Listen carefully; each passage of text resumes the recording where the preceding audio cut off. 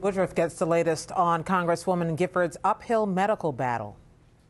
And for that, I'm joined in Tucson by Dr. Peter Rhee. He's the Chief of Trauma and Emergency Surgery at University Medical Center. He's a member of the team that has been treating the Congresswoman. Dr. Rhee, thank you for talking with us. Thank you. It's a little more than two days now. Tell us how she's doing. So far, things are going well. Uh, we have not taken any steps backwards. There have been no complications. Uh, so far, you know, we're happy with where we are, but uh, we have to give her some time to see how she's going to do. Can you be any more specific about the positive signs you're seeing and why they give you hope? Well, this is a time period when the brain will go through its healing phase. And while I'm optimistic in many ways, because one, the brain skull is not on the on the on top of the injured brain, so if it needs to grow and get a little bigger during this time period, it has the room to do so. So I'm not as worried from that point of point of view. However, there's still natural swelling that's going to go on to the brain cells. And if they occur, it can occur on these days, anywhere from the first day all the way to the third, fourth, fifth day. And during that time period, a person can actually go backwards and their neurological status can actually get a little worse. And that has not occurred, so I'm very happy. And she's, a, she's at the point that she was before, if not a little better. Uh, all of her other conditions, her blood sugar and her laboratories and her blood level and so on, are exactly where we want it to be. So overall, we're very happy with this, and we just want to give her some time and let the brain heal. At this point, it's actually going to be very slow, uh, slow progress.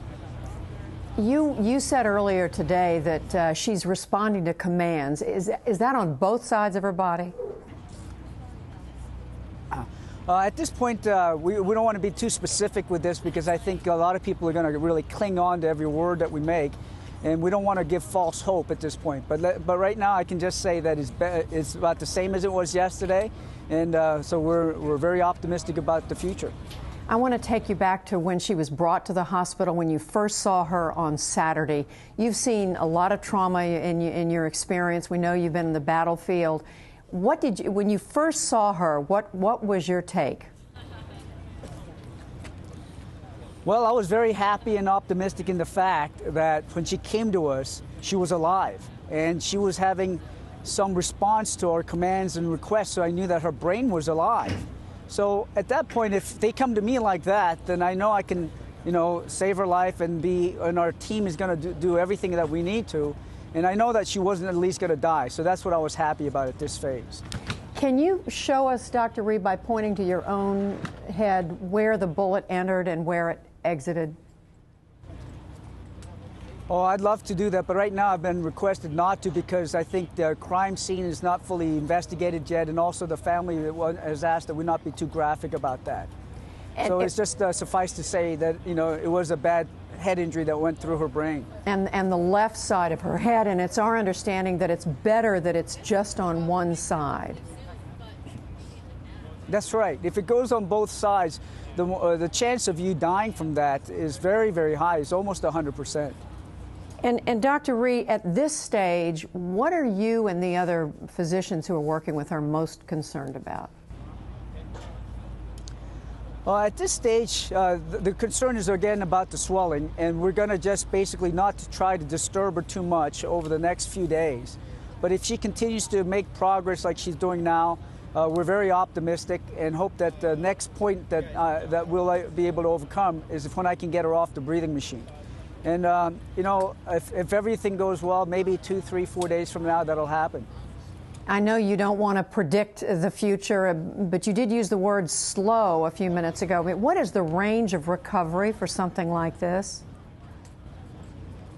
Well, it's hard to say. I've seen people wake up, you know, just all of a sudden in one minute, just they'll open their eyes and and start, uh, uh, you know, it's like the computer just booted right back up, and that has occurred, so that's not too uncommon as well. But when you have injury to the head and to the brain, it's just so unpredictable as to when that's going to occur. So at this point, you know, if, if she didn't do anything for a while, meaning a couple of weeks, that's still not uncommon. That doesn't mean I'm going to lose any hope. Uh, if she doesn't do anything for a very long period of time, for about six months or so, that still doesn't mean that she can't recover. So uh, the brain is very unpredictable at this time period.